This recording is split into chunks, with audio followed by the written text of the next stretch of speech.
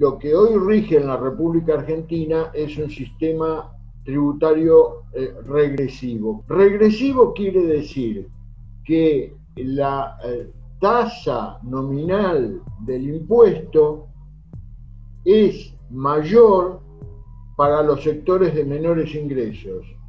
Los impuestos indirectos están redistribuyendo la riqueza de los que menos tienen a los que más tienen.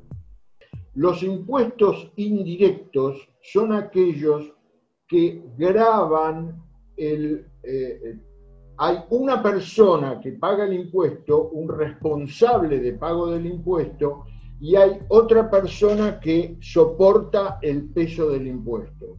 Por ejemplo, en el IVA.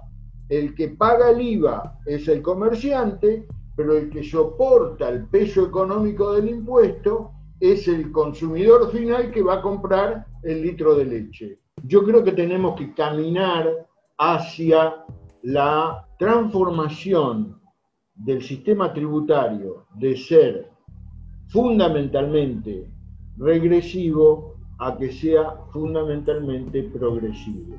Y eso es lo que dice Angela Merkel, porque en los países centrales, en Estados Unidos, en Europa, el sistema tributario, aunque no lo creamos, es fundamentalmente progresivo. Es un impuesto que grava las grandes fortunas, es un impuesto que está pensado para esta coyuntura tan complicada como la que estamos viviendo.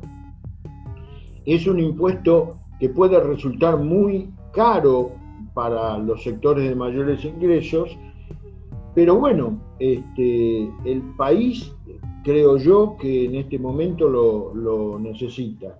Esperemos que esta vez eh, sea un tiro para el lado de la justicia, que eh, paguen aquellos que tienen más plata.